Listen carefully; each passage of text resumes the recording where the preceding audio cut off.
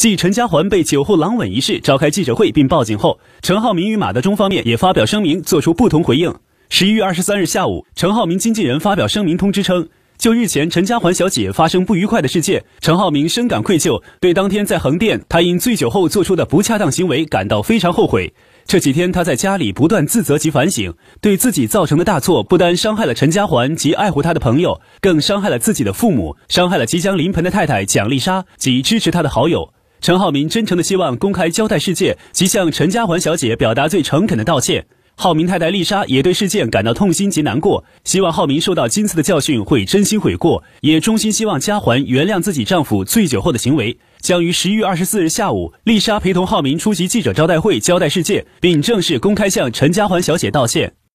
而事件中另外一位男主角马德钟却发表声明称，并没有对陈家环有侵犯及非礼，也没有意图向对方做出轻薄行为，并强调称将对不实爆料的杂志及媒体做出的人身攻击保留一切追究权利。